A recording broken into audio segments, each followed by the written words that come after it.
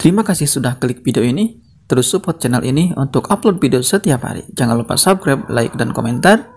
Karena subscribe itu gratis. Yang sudah subscribe, admin doakan rezekinya berlimpah. Selamat menonton.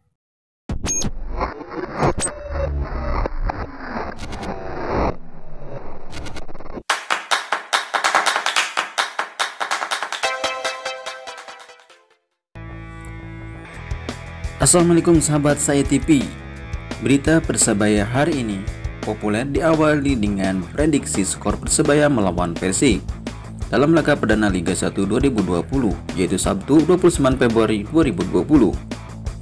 Dalam laga ini Persebaya Surabaya punya modal dari laga sebelumnya saat melawan Persik Kediri di Piala Gubernur 2020 beberapa waktu lalu.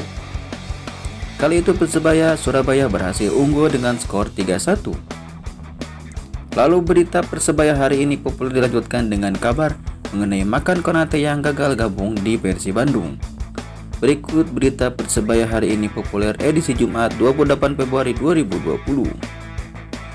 Meski Persebaya punya modal unggul dibanding Persik Kediri, namun laga perdana Liga 1 2020 diprediksi tak semudah laga sebelumnya. Persik Kediri yang menyandang status juara Liga 2 2020 tentu ingin mendapat poin penuh di kompetisi kasta tertinggi tanah air. Jika tidak akan ada kesempatan yang kedua.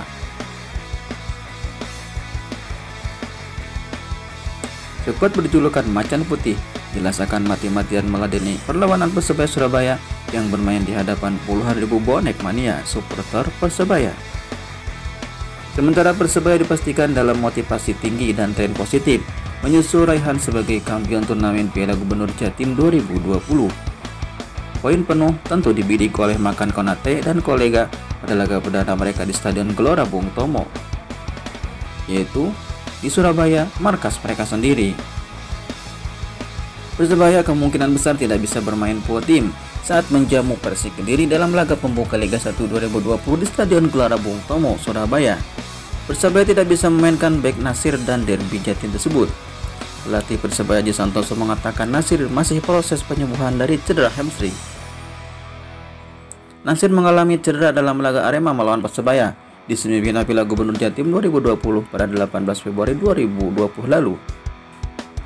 Sebenarnya saat ini pemain asal Malang tersebut sudah ikut latihan Persebaya, namun Nasir masih harus latihan terpisah dari tim.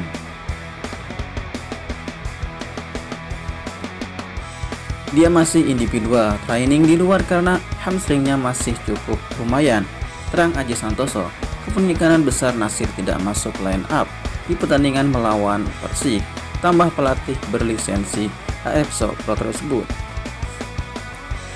Meski demikian, Aji memastikan semua pemain asing milik Persebaya bisa diturunkan dalam laga nanti, termasuk Aryan William dan Mahmud Eid. Aryan William dan Mahmud Eid sempat absen latihan karena mengurus visa di Singapura. Kecuali Nasir, insya Allah pemain lain bisa dimainkan terang Aji Santoso. Kekuatan Persebaya kian bertambah setelah para pemain pilar yang sempat menjalani pusat latihan bersama timnas sudah kembali bergabung. Mereka adalah Hansamu, Rahmat Irianto, pemain muda Koko Ari Raya. Sekian dulu teman-teman informasinya dan untuk pertandingannya akan digelar hari Sabtu pada pukul 15.30 kalau tidak ada halangan. Dan jangan lupa share, like, dan komentar apabila video ini bermanfaat. Assalamualaikum